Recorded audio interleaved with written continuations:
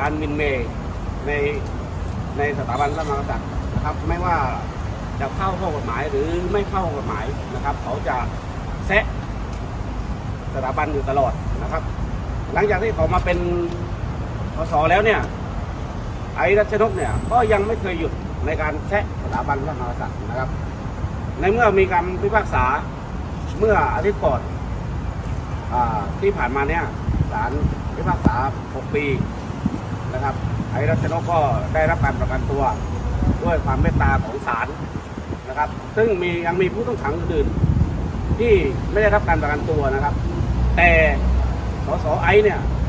ได้สิทธิพิเศษในการประกันตัวนะครับ แล้วก็ในวันนั้นเนี่ยมีสสมีหัวหน้าพักที่ออกมาร่วมกันฟังคำพิพากษาของศาลนะครับ วันนั้นท่านไม่อยู่ทำหน้าที่ของตัวแทนของประชาชนนะครับ แล้วก็ในการประกันตัวของไอ้ทัชนกเนี่ยนะครับ ก็ได้รับความเมตตาจากศาลหลังจากได้รับการประกันตัวแล้ว ไอ้ยังโพสต์ข้อความลงโซเชียลนะครับ ในการมินเมย์สถาบันพระมหากษัตริย์ ในขณะที่มีเงื่อนไขนะครับ ว่าไม่ให้ไอ้เนี่ยกลับไปทำ เหมือนเดิมอีกนะครับ ถึงที่ไอ้โพสเนี่ยนะครับ ว่าไม่ได้ล้ม ประชาชนไม่ไม่ไม่สามารถที่จะล้มได้ แต่ไอ้ไม่ใช่ประชาชนธรรมดา ไอ้เป็นนักการเมืองนะครับ ไอ้เป็นนักการเมืองมีประชาชนมี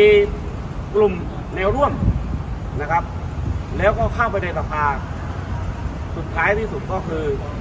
นี่แหละคือจุดเริ่มต้นนะครับ ผมไม่รู้ว่า วันนี้ศาลจะ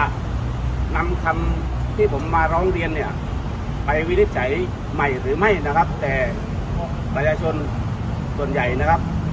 อยากให้ศาลนำความที่ผมเอามาร้องเรียนวันนี้นะครับ เอาไปพิจารณาใหม่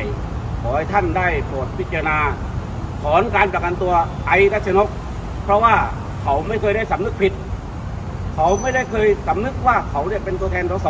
เป็นตัวแทนของประชาชนนะครับ วันนี้เราก็เลยนำหลักฐานนะครับ เอามาให้สารพิจารณานะครับ